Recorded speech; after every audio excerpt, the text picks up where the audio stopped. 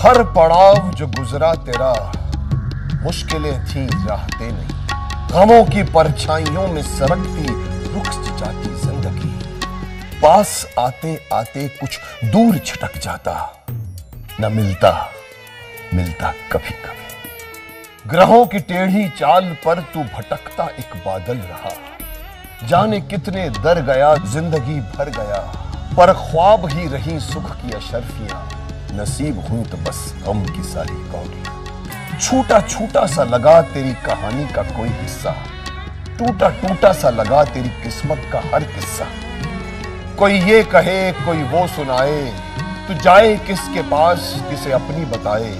काटता रहेगा गम से आखिर कब तक कलेजा। ज़रूरी तो नहीं कि हर दुख को बस तू यूँ ही सहेजा। मन में एक तलाश, आँखों में नमी। न मिली कहीं अब तक उपायों की जमी। बस सोचता रहा, किसी से कह दो दर वो जाकर जहाँ गम को धो दो। तू आ यहाँ आ यहाँ, दिल का दरिया खोल दे। दफन है जो दर्द दिल, अब तो आखिर बोल दे। हुआ बहुत हुआ बहुत, बस, अब दुख और नहीं, बस।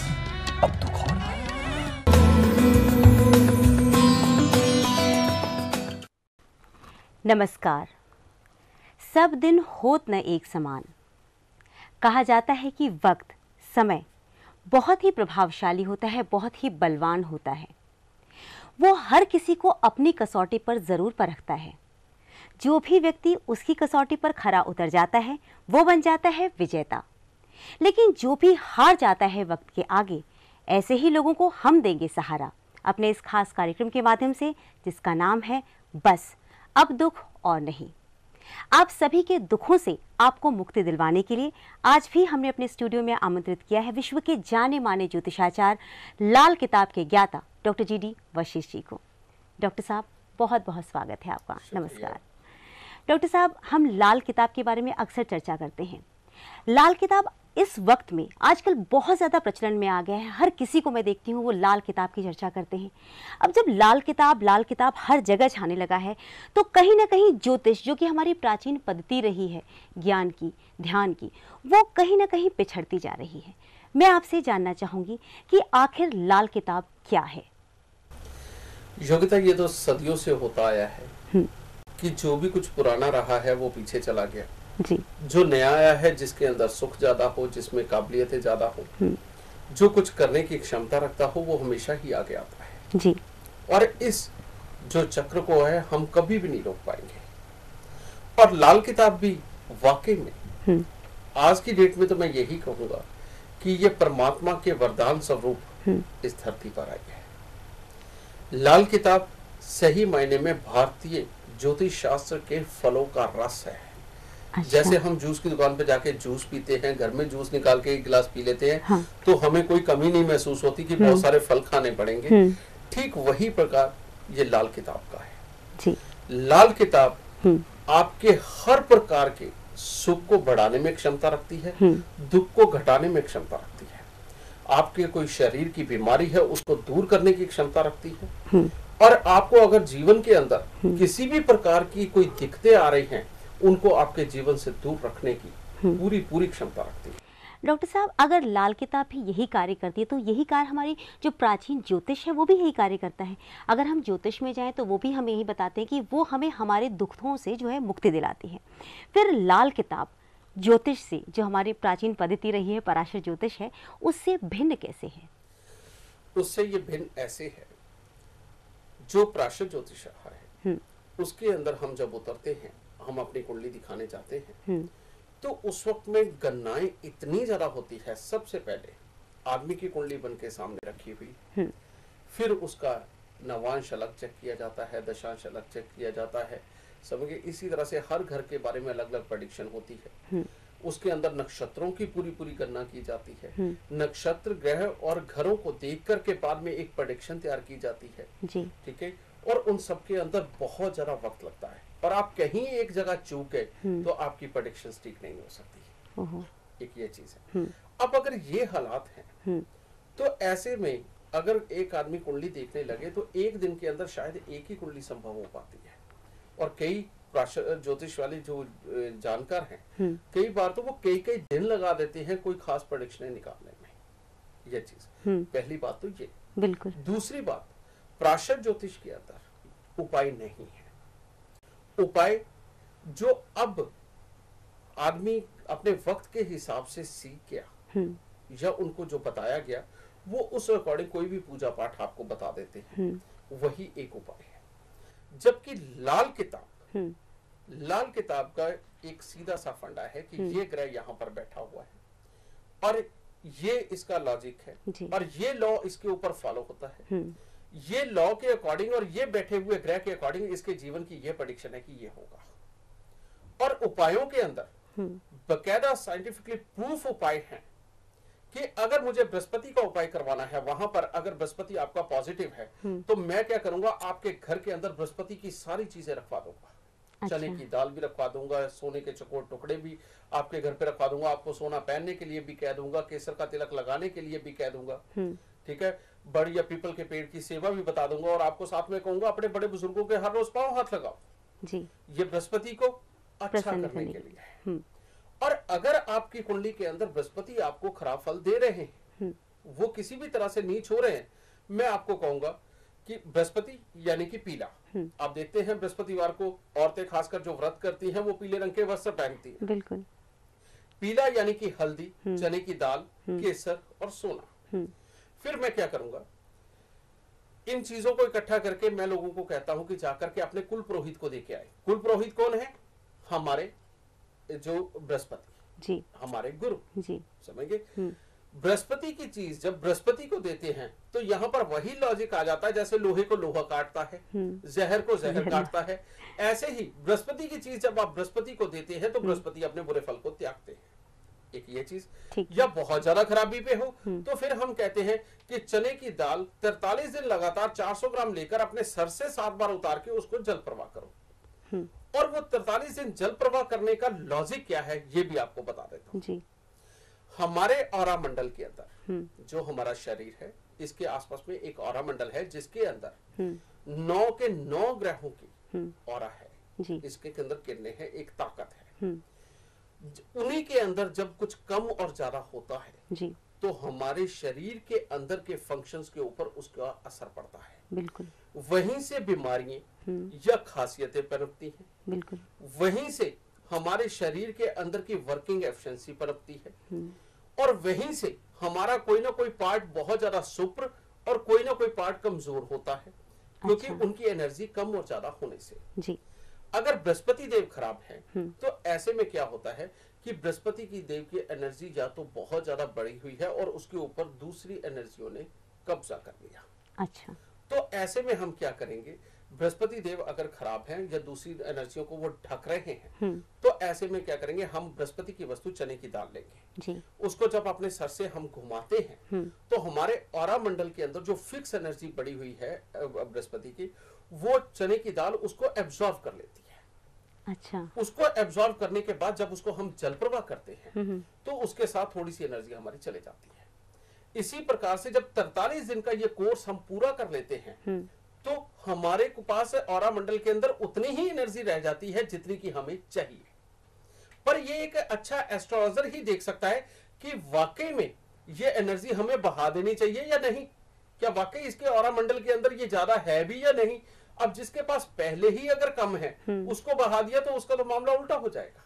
बिल्कुल सही। ठीक है? बिल्कुल। इसीलिए ये चीज़ होगी हम्म। इसी तरह से मंगल की वस्तुएँ अगर मान लीजिए किसी की भाई भाई की नहीं बनती है हम्म। घर के अंदर कलेश रहते हैं खून की खराबी आ रही है क्योंकि ये सारी चीज़ें मंगल से कंसर्न करती है। गुस्से को बढ़ाती है। हम्म। तो अगर वो सारी चीज़ें ज़्यादा खराबी में बढ़ चुकी हैं और आपकी कुंडली के अंदर भी मंगल शो हो रहा है कि किसी न किसी तरह से खराब है हम्म। बेशक बे, बेशक वो पॉजिटिव राशि के अंदर बैठा हो पॉजिटिव घर के अंदर बैठा हो लेकिन जो दूसरे लॉ है जैसे कि शुक्र नवे में बैठ जाए तो मंगल बद होता है बुध शुक्र आपस में मिल जाए तो मंगल बद होता है हम्म। सूर्य शनि आपस में मिल जाए तो मंगल बद होता है हम्म। ठीक है हम्म। ऐसी अवस्था में अगर मंगल देव खराब अवस्था में हो तो हम आदमी को कहते हैं कि एक मिट्टी का लोटा ले या तांबे का लोटा ले वो डिपेंड करता है कि कुंडली के अंदर क्या कंडीशन उसके अंदर देसी खांड भरे। देसी खांड मंगल से पूरी पूरी कंसर्न है। अच्छा। ठीक है जी? वो लेकर के या लाल मसूर ले ठीक है? उनको लेकर के अपने सर से सात बार घुमा करके गहरा खड्डा खोद के उसमें दबाएँगे जैसे ही आप वो सारी क्रिया करते हैं हाँ। वो सारी क्रिया करने के दौरान वो उस लोटे के अंदर बार बार आपकी एनर्जी टकराती है उसके अंदर अब्सॉर्ब होती है। और जैसे ही हम मिट्टी में दबा के जब उठते हैं तो ये एनर्जी एक रबड़ की तरह होती है। कहीं फील नहीं होता। लेकिन ये एक रबड़ की तरह होती है। जैसे ही आप दबा के रखते हैं उसे तो आपने नीचे दबा दिया। आप चलते गए चलते गए उससे दूर चलते गए वो रबड़ की तरह पीछे आपकी एक लेयर छूटती जा रही है और आपकी और में से छूटती जा रही है। और ऐसे में जैसे ही आप ज़्यादा दूर हो गए वो रबड़ एक हिस्से पे आके टूट जाएगी और आपके पास और उतनी ही रह जाएगी जितनी आपको चाहिए बाकी सारी पीछे छोड़ आएगा। इस प्रकार से वो और निकल गई। आपका लेवल बिल्कुल बैलेंस आ गया। आप जब घर पहुँचेंगे इतने शांत होंगे आप। टाइप कीजिए लाल किताब। लाल किताब में स्पेस बिल्कुल मत दीजिएगा। उसके बाद स्पेस देकर टाइप कीजिए अपना नाम अपनी प्रॉब्लम और उसे भेज दीजिए five three zero three zero पर। हम आपसे मिलते हैं सर्प विराम के बाद।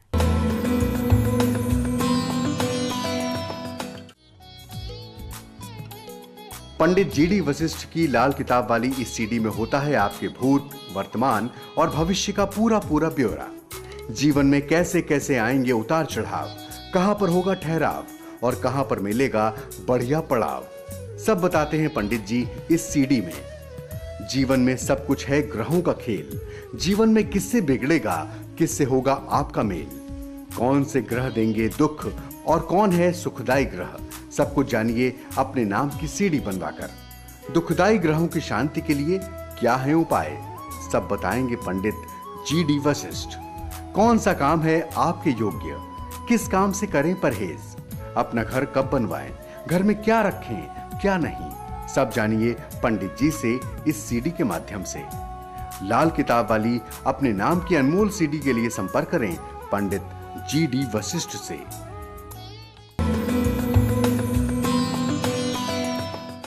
अल्प विराम के बाद आप सभी का बहुत बहुत स्वागत है हमारे इस खास कार्यक्रम में, जिसका नाम है, बस अब दुख और नहीं। हमारे साथ जुड़े हुए हैं doctor G D Vashishtha ji, जो कि विश्व के जाने माने ज्योतिषाचार्य हैं, लाल किताब के एक्सपर्ट हैं। चाहते हैं कि आप भी एक्सपर्ट हो जाएँ ज्योतिष में, तभी धीरे धीरे करके हर ग्रह के मूड के बारे में आपको बता रहे हैं। अगर कोई ग्रह बहुत उच्च का है आपकी जन्म कुंडली में तो क्या पड़ सकता है आपके जीवन पर प्रभाव? और अगर वो नीच का है तो आपका जीवन कैसे संचालित करेगा? साथ ही, उपायों के बारे में भी आपको पूर्ण विवरण दे रहे हैं। डॉक्टर साहब, आज के संदर्भ में देखा जाए तो आजकल अगर हम नौकरी की बात आपने की है कि जो लोग बहुत जल्दी जल्दी नौकरियाँ बदलते हैं, सूर्यदेव उनके भी नीच के होते हैं। क्योंकि मन रुकता नहीं है उनका वो रोक नहीं पाते गुस्से की वजह से लड़ाई करके बदल लेते हैं। अगर मैं अपने आसपास नज़रें घुमाती हूँ तो मुझे शायद ही ऐसा कोई नज़र आता है जो कि किसी कंपनी में छः सात महीने से ज़्यादा रुके। जैसे कहीं से अच्छा जंप मिला तुरंत कूद के दूसरी कंपनी में चले जाते हैं। तो क्या आज के संदर्भ में बहुत ज़्यादा लोगों के सूर्य नीच के रहने लग गए हैं? ये सदियों से ये रेशो अगर जोड़ी जाए तो वैसे की वैसे ही है जैसे पहले हुआ करती थी सिर्फ़ हालात बदल गए हैं। अच्छा। सूर्य देव जिनके उच्च के होते हैं वो तो पहले ही अपनी अपनी जगह पर पूरी तरह से फिट है।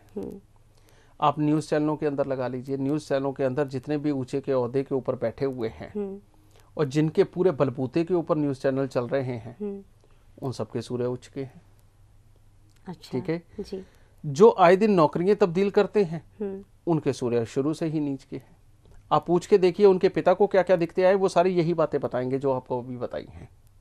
किसी की किसी रूप में सामने आए किसी की किसी रूप में सामने आए। बिल्कुल। आप सूर्य उच्च वालों को पूछ के देखिए वो कहेंगे जी हमारे पिताजी तो वहाँ पर लगे थे वहाँ लगे थे तो एंड में रिटायर ही हुए हैं। वो नहीं कहेंगे कि मेरे पिता की नौकरी बदली।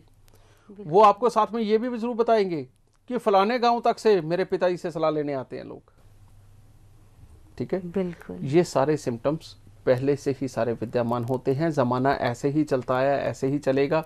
लेकिन ये जो हम शिक्षा दे रहे हैं लोगों को वो इसीलिए दे रहे हैं कि आपकी कमियाँ आपके सामने आ जाए तो आप उन्हें इजीली ठीक कर सकें।